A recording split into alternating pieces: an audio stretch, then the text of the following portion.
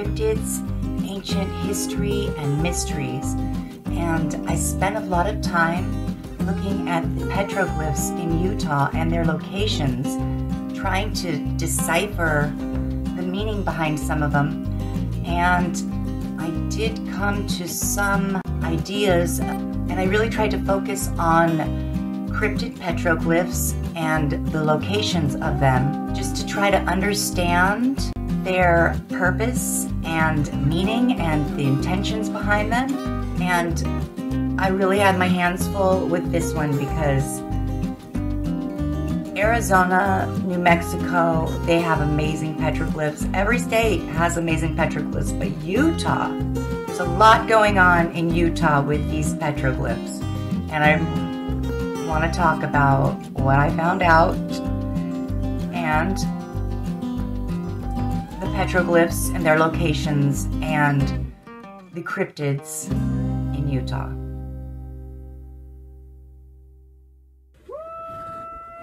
If you share in my interest in cryptids, then please subscribe to my YouTube channel and hit the like for this video. I really do appreciate it. Obviously, I didn't get to all of them, but I really wanted to focus on, like I said, the cryptid petroglyphs, and I wanted to familiarize myself with the location of these petroglyphs because I found that I think that's really important. I didn't just look at all of the Utah petroglyphs as a whole. I really wanted to learn about the locations of the petroglyphs. And so obviously I really was only able to look at the big major petroglyph sites, which there are a lot. There's also just a lot of smaller sites as well. But I really wanted to find out who made these petroglyphs. And I learned that the northern half of Utah the ancient history and creators of those petroglyphs were the Fremont. And the southern half of Utah, that was occupied by the Anasazi. Okay, I have heard about some of these Anasazi sites. Okay, like Mesa Verde, Hovenweep, and Cowboy Wash. And I have to dedicate a whole video to that. I'm not going to really be mentioning the Anasazi in this video because I'm focusing on the Fremont. So I'm going to be skipping everything about the Anasazi and saving that for another video because I want to look look deeper into what happened at some of these Anasazi sites and look into the disappearance. So I did find out some interesting things though about the Fremont and the Anasazi that coincide which are the dates of their disappearance, 1300. This is also the arrival of the Native Americans. I'm going to go ahead and say it's not a coincidence. But let me tell you, I didn't know anything about the Fremont. So what I first did was I put in, I put in the search, Fremont people BC Utah. And according to history2go.utah.gov, the first signs of the Fremont started as early as 100 BC, duly noted. Then I went on to the next search, which was what happened to the Fremont people in Utah. And according to UtahStories.com, from a 2012 article called Ancient Fremont Farming in Utah, and I quote Fremont Indians of Utah adopted farming technology that would be wiped out by their conquerors, the Ute, around 1250 to 1300 AD. And it says the Fremont Indians' culture vanished in less than a century. They were alive for, so now I'm not quoting anymore. So they were alive for a thousand, for like a thousand years, and then in less than 50, gone. From what I studied um, in my videos about the Anasazi in New Mexico and Arizona, the disappearance of the Anasazi was also in the 1300s, and so was the arrival of the Navajo skinwalkers who did not like the Anasazi and called them ancient enemies. So, all signs point to problems when the newcomers, the Native Americans, the new Native Americans arrived. Because there were already people here before the um, before the Native Americans arrived. But the question is, were the Anasazi, were the Fremont all one species, or were they uh, different species because there's reports of some very tall Anasazi in Gallina, New Mexico. There's some reports of very short Anasazi in other places. So, and according to the petroglyphs, we're not really sure if the Anasazi or the Fremont were 100% human. You know, you think about the Neanderthals, they were kind of human. They weren't animals. So I think that the Fremont and the Anasazi were not animals, not quite human. And I don't think that was, I think that caused a lot of fear to the newcomers who apparently were uh, much better skilled in war. Some of these tribes that came to New to, to the United States were very focused on war. They were warrior tribes. They fought with other Native American tribes and they took it upon themselves to just fight. They were warriors. And I'm sh- pretty sure that, you know, everything seems to be falling in line for that being the cause of the disappearance, more like the fleeing, of both the Anasazi and the Fremont. And all the dates line up. It makes sense in every area that that's what happened. But again, this is my opinion because it is technically still a mystery as to what happened to the Fremont and the Anasazi. But I found some things out all that being said, it's not personal, it's just ancient history. I mean, I don't hold anybody responsible for what their parents did, let alone what their ancestors did. I mean, it's all about what you do today. So I just want to make that clear as I continue talking about this ancient history in Utah. So now I'm going to kind of go over Utah. It's got some of the most amazing scenery. They've been beautiful throughout ancient history, and I'm sure we're appreciated like we appreciate them today. So, starting in the southwest is legendary Zion National Park, and moving east is Bryce. Moving east and to the south in south central Utah is Lake Powell that extends from the Arizona border up into Utah. And then this Lake Powell has many, it extends and forms the Anasazi Canyon, along with many other deep river canyon valleys where there are a lot of petroglyph, ancient petroglyph sites and high-hanging hidden cliff dwellings. The ruins continue up into Canyonlands, and north of that is the famous Moab. And Moab is central to the majestic landscapes in the Arches, Canyonlands, and it's also a dinosaur hotspot. It seems that giants and dinosaurs tended to go together, which doesn't sound like a big stretch, but it is for some. And here's more evidence of that because when searching for giants in Utah, I found one single story that I'm going to bring up because it is, I've never heard anything like this before or seen anything like this before. This is called this is about the Moab man or the Malachite man because there were these skeletons found. Um, the one, the Moab man is 12 feet tall, so he's a giant. There were like a hundred of them, but this one Moab man, he was buried in a azurite mine. And the only reason that they found these skeletons is because they used dynamite to blow up this hard sediment. The other skeletons were over six feet tall. They were buried in deep, hard sediment.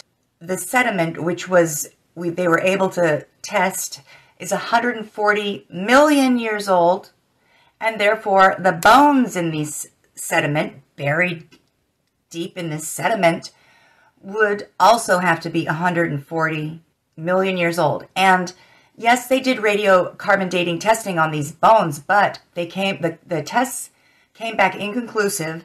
And it's a fact that radiocarbon testing gets really bad in the mil- after like millions of years.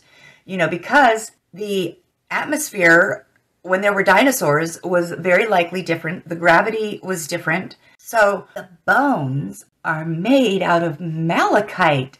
They turned into malachite. So I had to start searching like how is malachite formed? It's formed with copper. But I've seen malachite and it doesn't even look anything like this. This looks like jade. It looks like like very glass. And his bones turned into malachite. And there was a jawbone found that has turned into turquoise. So I searched for turquoise fossils. I found more evidence of turquoise fossils than I did of malachite fossils. But yes, never anything this large. But did they do something to the bodies? Like maybe they wrapped them in some thin copper, put them in this azurite mine. Did they know that they were going to turn into malachite and turquoise? I could turn into turquoise? I think that's fascinating. And so the controversy and all the talk isn't so much focused on how did these bones turn into malachite and turquoise. Mostly it's focused on how old they are. And they're trying to say that they're, this other opposition is trying to say that they're 200 years old, made by the Native American Indians, giants. I mean, how long does it take for a jawbone to turn to turquoise? But I just found that totally fascinating. Of all these petroglyph sites and of all the many cryptid petroglyphs in Utah, how is it then possible that I have chosen a group of petroglyphs to be my absolute favorite favorite? And those are going to be the McConkie Ranch, also the McKee, the Cub, and the the Chew. They're in the same area in northeastern Utah. And then the nine mile petroglyphs, very amazing as well. My favorites. I, I do love like Sego Canyon. I mean, I love them all. Don't get me wrong. But the reason I chose the McConkie Ranch petroglyphs as my favorite is because I'm going to tell you what I think. I think that this is where the toughest bravest cryptids, maybe the Fremonts, probably, I think, took a stand against the humans. They took a stand and they made these huge petroglyphs that are like almost bigger than life size. It's, I think that they showed themselves holding heads of the Native Americans.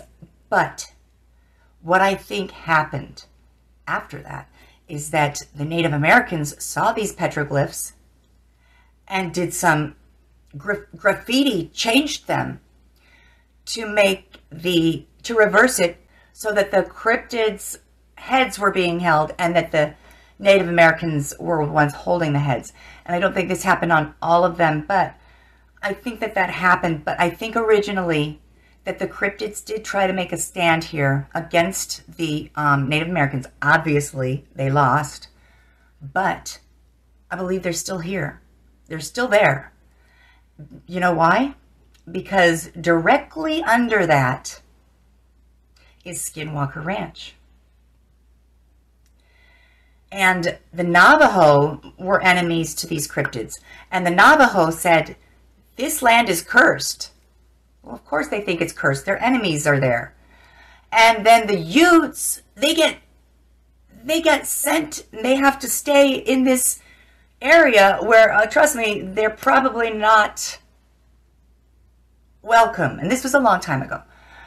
You know, because there's still cryptids there. But I believe that in order to survive, the cryptids had to go into hiding and make the make people believe that they were all killed so they can stop looking for them and trying to kill them. They had to hide. And I believe they hid here, and they're still here, hidden. So let's talk about Skinwalker Ranch. So at Skinwalker Ranch, there's so much paranormal activity going on that they have 24 hour surveillance, security, and very high tech monitoring systems, tracking systems, trying to figure out what is going on in this location. It's got a long history of sightings of werewolf, dogman creatures, you know, the kind that are in the petroglyphs right above and below in both the McConkie Ranch and Nine Mile Canyon. petroglyphs. And it's just not one sighting. This has been going on since the Navajo, the Utes, and then all of the new pioneer people coming trying to farm the land and, and make it an actual ranch with cows, cow mutilations. Any kind of animals that go there get mutilated. Like, so they have a show. Um, it's I think it's on its third season called Skin- Secrets at Skinwalker Ranch, and I really like the show. For one, anytime anybody tries to dig on the land, a lot of things go wrong, and people have even been more than one person has been physically harmed from, you know, any kind of digging that they do. And then they can also monitor that there's like radioactivity, something going on underground here. And I've been saying a whole time where these cryptids hide is underground. And these were the biggest, best, strongest, toughest cryptids that must have had to go hiding in this area. This is not the place to go looking for cryptids because they already have a grudge more than the rest of them against humans. I believe. I believe this. Based on things like what's going on at Skinwalker Ranch, it kind of fits the pattern and there was some theories that maybe there's um, a UFO that had crashed and buried under there. Maybe true, but I just think there's um, an extensive underground there by these cryptids who are not animals and not humans. Just think of Neanderthals, Denisovans, um, Lucy, um, Australopithecus, Gigantopithecus, all of these creatures. I could go on if I could remember some of them. Um, Heidelbergensis. All of these human types, but they're not animals. I think they're still there. I think that they had had it out here. This was where the battle of all battles, I believe, took place when it comes to the cryptids, and they lost. The only way to win this battle is to survive. And the only way to survive is to make them stop hunting you. And the only way to do that is make them think that they killed everybody, all of you.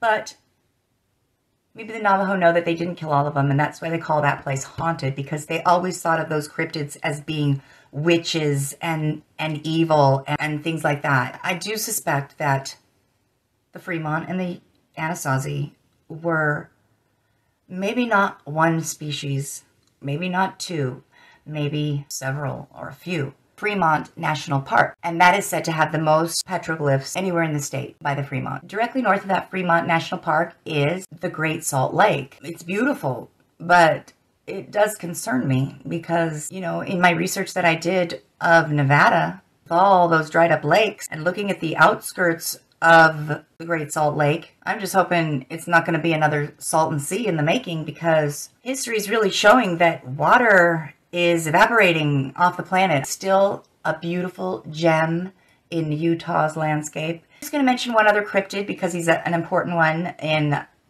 in Utah, and that is the one li living in Bear Lake.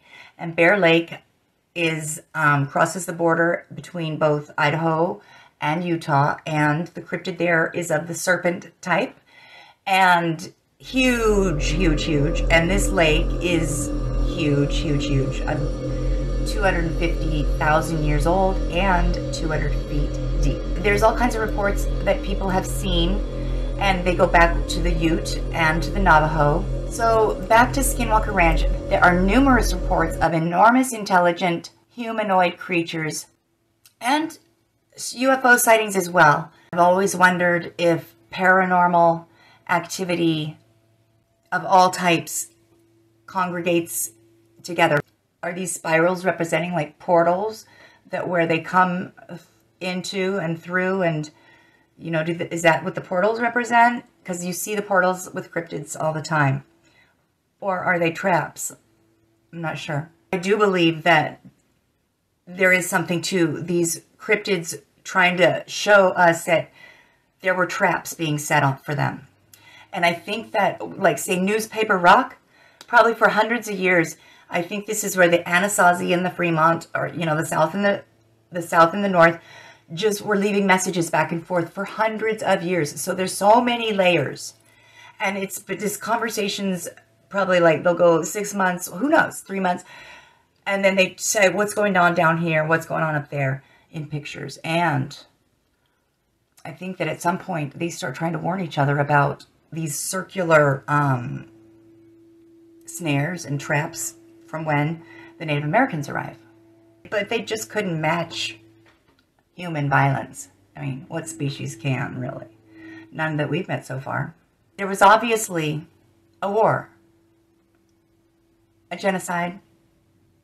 I don't think that it was technically a genocide because I think that the losers on this in this war, some of them escaped and still live there today and use the underground and don't like humans. Their their ancestors would have instilled that in them.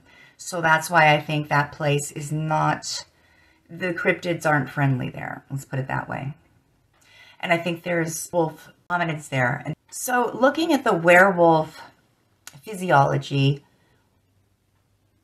you see often the tail between the legs. That's in so many of these cryptids. You also see these very shorter legs and knobby knees. These knobby knees and also very like um, pronounced calf muscles. This is very uh, werewolf leg. This looks like a werewolf leg. You got a tail and you got werewolf legs. No neck. Got that check. Um, pointed ears check uh, snout even, check. Oh, and the very triangle, you know, body like a dog has, like small waist, triangle chest, very, very werewolfy. And these, some of these petroglyphs, the ones that are fighting the humans, they look just like that. Wolf hominids. Wolf hominids. And I think they're probably pretty amazing. They didn't name themselves. Somebody named them and for all we know, they were more than one species. But I don't think they were 100% human. There is one more thing that I forgot to mention, and that is it's called Brewer's Cave in Brewer's Cave in Utah. And when I put that in Google search, it came up as Crystal Ball Cave. And apparently at this site, they unearthed these artifacts that well, the most talked about one is this one that matches the Lady of Elche. This statue unearthed, it's ancient in Spain.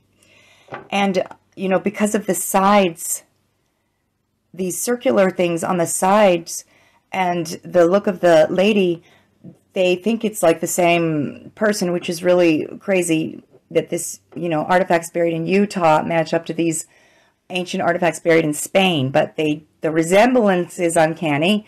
And I have wanted to I've wanted to do a video about these circular things. You know, with the Hopi, I feel like they are um, possibly imitating something come in contact with before, with these circular things. And then also, a lot of the Kachinas have them.